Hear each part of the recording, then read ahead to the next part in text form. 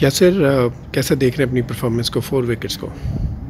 سب سے پہلے تو اللہ تعالیٰ کا شکر ادا کر رہا ہوں کہ کافی عرصے کے بعد یہ ٹیسٹ میچ کھیل رہا ہوں، کیونکہ لاک ڈاؤن تھا اس کے بعد جتنے بھی ہمارے مہینے مطلب اس میں ضائع ہوئے ہیں، جتنے بھی ہم نے کرکٹ نہیں کھیلی، اس کے بعد یہ میرا پہلا ٹیسٹ میچ تھا، تو اللہ کا شکر بہت اچھی پرفارمنس رہی اور یہاں پہ جتنا بھی ہم پریپریشن کا ورک جتنا بھی ہمیں ٹائم ملا ہے، تو وہ بہت یوزفل رہا ہمارے لیے۔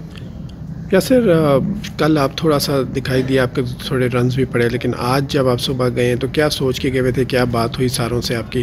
اور کیسے امپلائی کیا اپنے آپ کو؟ یہ کہ کل جب میں گیا ہوں تو آپ کو پتہ ہے کہ کافی عرصے کے بعد ٹیسٹ میچ کھیل رہے تھے، تھوڑا سا ہوتا ہے۔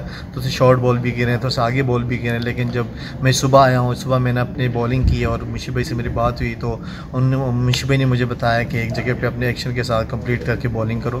تو یہ وہی کیا میں نے اپنے ایکشن پہ میں کمپلیٹ کیا، اپنے بالنگ ریپیٹیبل ایکشن پہ کام کیا صبح۔